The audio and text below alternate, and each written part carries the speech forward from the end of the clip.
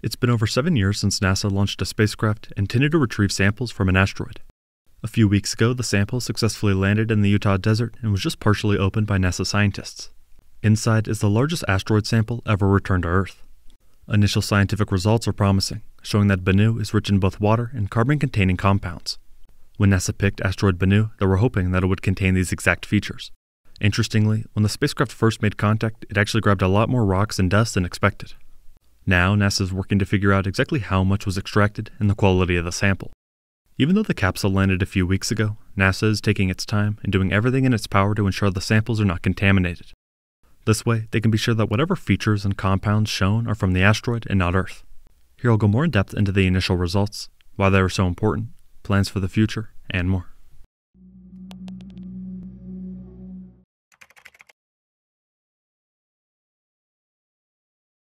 The OSIRIS REx mission launched in 2016, arrived at the asteroid in 2018, grabbed its sample in 2020, and just landed back on Earth a few weeks ago.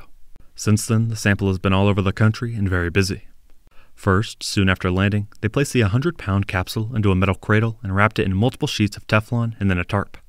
Next, the team wrapped the crate in a harness and secured it to one end of a 100 foot cable hanging from a helicopter.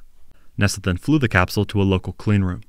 Here, it was disassembled and packaged in parts for transport to NASA's Johnson Space Center in Houston, its permanent home. By September 25th, the capsule had arrived at the Johnson Space Center. The sample arrived in Houston at 12:40 p.m. ET aboard a U.S. Air Force C-17 aircraft, which landed at Ellington Field. From there, it was transferred to NASA Johnson. With the cargo now in the planned clean room, NASA was ready to access the sample. The clean room includes custom glove boxes built to fit the sample canister containing the TAG SAM or touch and go sample acquisition mechanism head inside. The head was on the end of a robotic arm that collected rocks and dust from asteroid Bennu's surface on October 20, 2020. Having practiced these procedures for months, scientists and technicians plan to proceed through the many steps for removing the sample from the sample acquisition mechanism. On the 26th, the lid was removed. A few days later, NASA realized that this process was going to take longer than expected, but for a good reason. In a statement, the agency said the initial curation process for NASA's OSIRIS REx sample of asteroid Bennu is moving slower than anticipated, but for the best reason the sample runneth over. They went on to highlight that the abundance of material found when the science canister lid was removed earlier this week meant that the process of disassembling the sample acquisition mechanism head, which holds the bulk of the material from the asteroid, is off to a methodical start. In other words, the spacecraft grabs so much material that there is extra in places it's not necessarily meant to be. After the collection event on Bennu three years ago, scientists expected they could find some asteroid material in the canister outside the sample acquisition mechanism head, when they saw particles slowly escaping the head before it was stowed. However, the actual amount of dark particles coating the inside of the canister lid at the base that surrounds it is even more than they anticipated. The very best problem to have is that there is so much material. It's taking longer than we expected to collect it, said Deputy OSIRIS REx Curation Lead at Johnson Space Center. There's a lot of abundant material outside the sample acquisition mechanism head that's interesting in its own right. It's really spectacular to have all that material there, he said. At that point, the agency was trying to remove the excess material, but also study it as it's just as valuable as the main sample. Some of the initial science included using the Scanning Electron Microscope, or SEM, infrared measurements, and X ray diffraction to gain a better understanding of the sample. The SEM in particular will offer a chemical and morphological analysis while the infrared measurements should provide information on whether the sample contains hydrated minerals and organic rich particles. The X ray diffraction is sensitive to the different minerals in a sample and will give an inventory of the minerals and perhaps an indication of the proportions.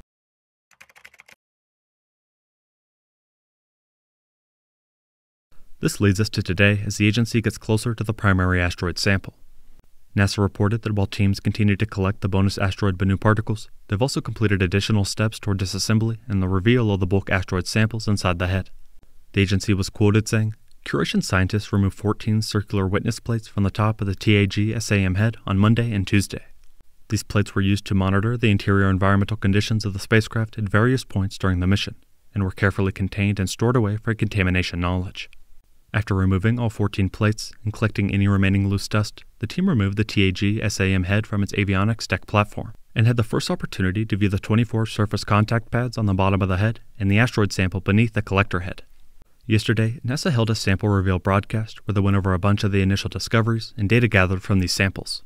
The OSIRIS REx sample is the biggest carbon rich asteroid sample ever delivered to Earth and will help scientists investigate the origins of life on our own planet for generations to come, said NASA Administrator Bill Nelson. Almost everything we do at NASA seeks to answer questions about who we are and where we come from, Nelson added. NASA missions like OSIRIS REx will improve our understanding of asteroids that could threaten Earth while giving us a glimpse into what lies beyond. The sample has made it back to Earth, but there is still so much more science to come, science like we've never seen before, he said. Looking at one image in particular, you can see that they have a metallic luster to them, said one NASA scientist. So when you shine light, they sparkle back and reflect that light, she said. In addition, a NASA report commented that initial studies of the 4.5 billion year old asteroid Bennu sample collected in space and brought to Earth by NASA shows evidence of high carbon content in water, which together could indicate the building blocks of life on Earth may be found in the rock. The goal of the OSIRIS REx sample collection was 60 grams of asteroid material. Curation experts at NASA Johnson, working in the new clean rooms built especially for the mission, have spent 10 days so far carefully disassembling the sample return hardware to obtain a glimpse at the bulk sample within. Our labs were ready for whatever Bennu had in store for us, said the director. We've had scientists and engineers working side by side for years to develop specialized glove boxes and tools to keep the asteroid material pristine and to curate the samples so researchers now and decades from now can study this precious gift from the cosmos, they said. As we peer into the ancient secrets preserved within the dust and rocks of asteroid Bennu, we are unlocking a time capsule that offers us profound insights into the origins of the solar system, said the OSIRIS REx principal investigator. The bounty of carbon rich material and the abundant presence of water bearing clay minerals are just the tip of the cosmic iceberg. These discoveries, made possible through years of dedicated collaboration and cutting edge science, propel us on a journey to understand not only our celestial neighborhood, but also the potential for life's beginnings. With each revelation from Bennu, we draw closer to unraveling the mysteries of our cosmic heritage, they said. They finished by highlighting that for the next two years, the mission science team will continue characterizing the samples and conduct the analysis needed to meet the mission science goals. NASA will preserve at least 70% of the sample at Johnson for further research by scientists worldwide. As part of OSIRIS REx's science program, a cohort of more than 200 scientists around the world will explore the regolith's properties, including researchers from many U.S. institutions, NASA partners like JAXA, the CSA, and other scientists from around the world. Additional samples will also be loaned later this fall to Space Center Houston and the University of Arizona for public display, a process we can expect to hear more about in the next few months. NASA just revealed some of the initial discoveries from the OSIRIS REx sample return mission. The samples show signs of water and other compounds that NASA was hoping to see. Now they are preparing for even more science in the coming months. We will have to wait and see how it progresses and the impact it has on the space industry. Thank you very much for watching.